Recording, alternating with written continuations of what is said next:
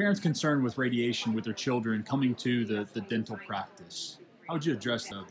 Yeah, that's a that's that's a very common question, and uh, and I think in the last five years it's even more common, and I forecast that in the next five years it's even to be even more common, and and and the reason is the media actually is providing to the parents a lot more information about radiation and a lot more information about you know the the, the, the potential issues connected with radiation. So parents, moms, dads, grandparents, when they come to the dental office, they are a lot more aware about radiation. So this is what I tell the parents. If I see x-rays walking around, I will go and hug and give a kiss. I love x-rays. And, and clearly, x-rays, they play a significant role in our lives, not just only in dentistry, in medicine, and in the food industry, and security industry. I mean, x-rays are clearly one of the biggest um, components or biggest players of our daily life. So this is what I tell the parents. First of all, I acknowledge to the parents that I say, yes, you are right, your concerns are right, but I go through four or five different things that I do in my office to minimize as much as I can the amount of radiation and also to minimize the potential issues related with radiation. So number one, justification. I tell the parents, if I'm going to take an x-ray, it's because I clearly I have a why.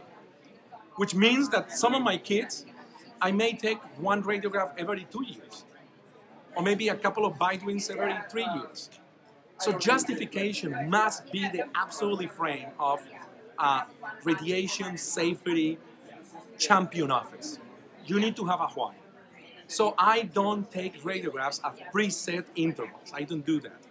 I don't tell my assistants, well, every patient, every six months, we need to take a radiograph. I don't do that. I do my, my exam first, and then based on my exam, I clearly decide if it's a justification. So that's the first thing. The second one is, I tell the parents in my office or in my in the university, we minimize as much as we can the retakes. And what I mean with that is, we do everything that we can, from the equipment to the training of the staff, and to writing every time that we need to retake a film. We, we keep very close a logbook of all the retakes because that's opportunities for education.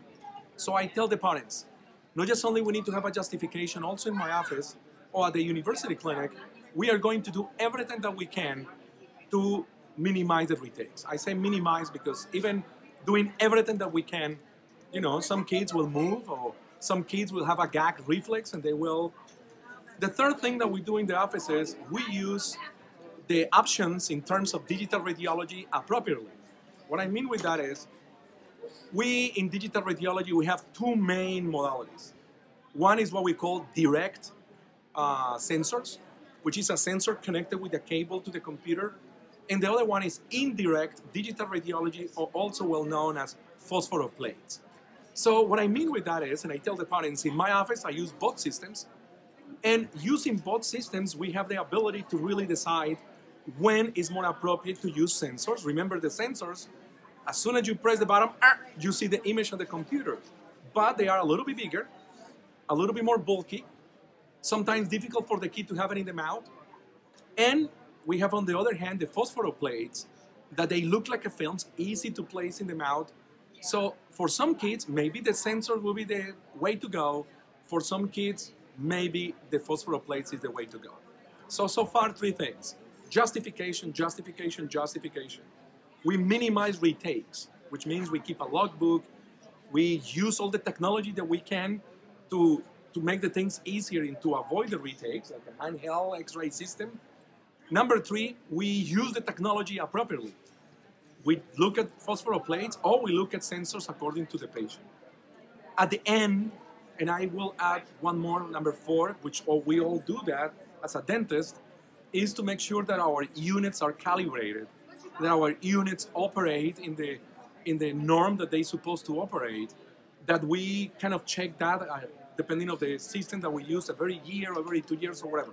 So at the end, I, I tell the parents, if I look at your eyes and I tell you we need to take two wings, it's because I'm going through all these checkpoints. I need it because I have a justification. We are going to minimize as much as we can. We are going to use the proper technology for the size of the mouth of your kid. And finally, our office, we operate all the equipment with the perfect calibration and the perfect uh, maintenance that we're supposed to do. Now, I need to, sometimes parents, even after all these things, they look at me and say, no x-rays. So now that's the space to be more creative and explain to the parents and, and look at other technologies, transillumination and look other technology that they may will help you to uh, look at that interproximal area that even with a loupes 3x, I mean, you don't see that, especially, you know, in between uh, primary molars that they have a flat, pretty big contacts, it's difficult to see. So, you believe transillumination will help that? Transillumination, it has different potential indications, but um, at this point, one of the indications is clearly, um, you know, that resource for situations where X-rays cannot be used. Parents who completely deny the use or completely reject the use of X-rays, but also more indications like a cracked teeth and things like that that really will help in that situation. Okay.